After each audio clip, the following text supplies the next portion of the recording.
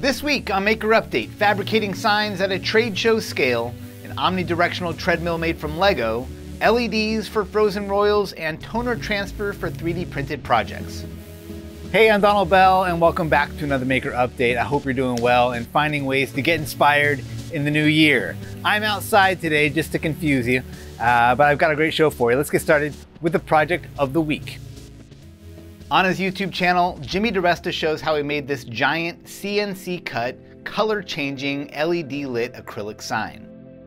Like any video from Jimmy, there are a ton of tips and techniques you get to take away from this project, but for me, the real unique thrill of watching this unfold was the sheer scale of the sign. Compared to the desktop scale or garage scale projects that typically get covered on this show, fabricating a sign this large really demands the kind of shop and tools that Jimmy has access to. Like, check out the bed size on this CNC router, and Jimmy is using it to the limit. Every aspect of this design is precision cut on the CNC, from the engraved lettering, which took a whole day to slowly carve out, to the plywood reinforced backing. He's coming back to the CNC again and again, and the result is super crisp. That said, at this scale, it's not enough for the design to look great. It also has to be structurally sound to resist warping and sagging under its own weight. Not to mention that it has to hold up to transportation to the client. And so here's where Jimmy's years of traditional fabrication experience come into play. We get to learn what adhesives work best, where to double up on material for added strength, and where it makes sense to use plywood instead of acrylic. We also get to see how he lit the sign using three 200 foot strips of LEDs arranged in a spiral pattern. These are color changing LEDs that can be operated with a remote control. They're not individually addressable, so you're not going to get any fancy animations here, but drop in LED strips like these are typically a better value, especially if you need a ton of them like this project does. Be sure to check out Jimmy's video for all the details.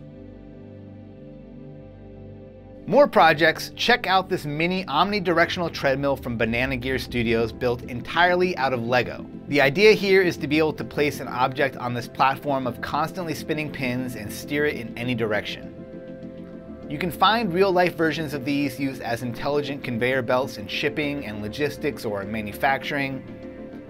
What makes the project particularly difficult, especially at LEGO scale, is to get all the pins turning in the same direction.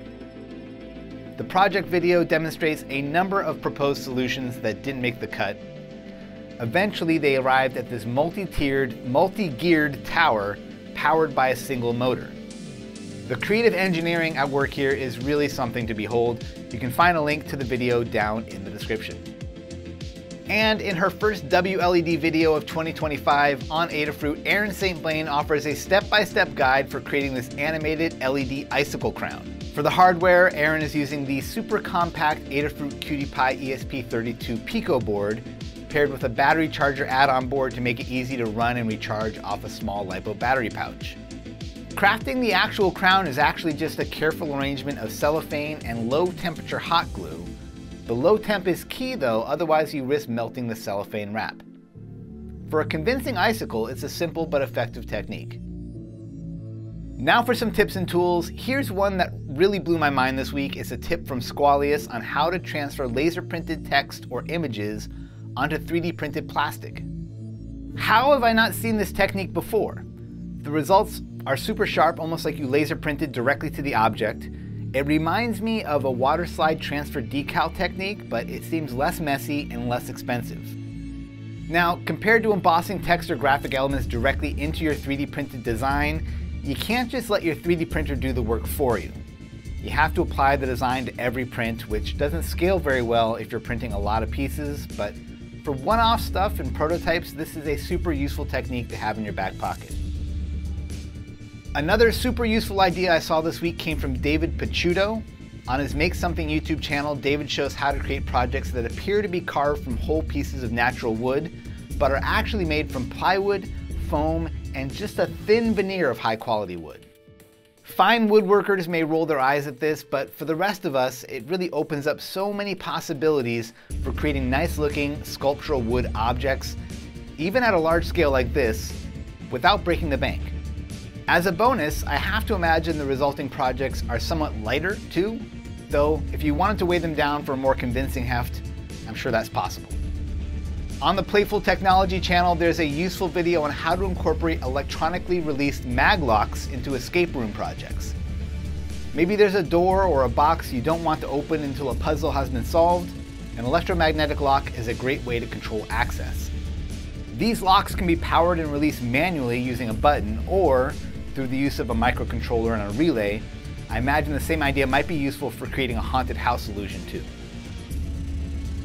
For this week's DigiKey Spotlight, check out the latest in the Electronics with Becky Stern series. This week, Becky guides us through the process of creating your first PCB or printed circuit board.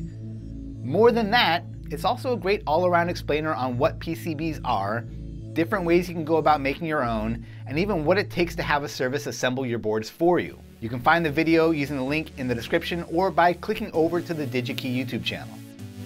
All right, and that does it for this week's show. Be sure to subscribe, leave a thumbs up, leave a comment. Big thanks as always to DigiKey for making this show possible, and thank you for watching. I'll see you soon.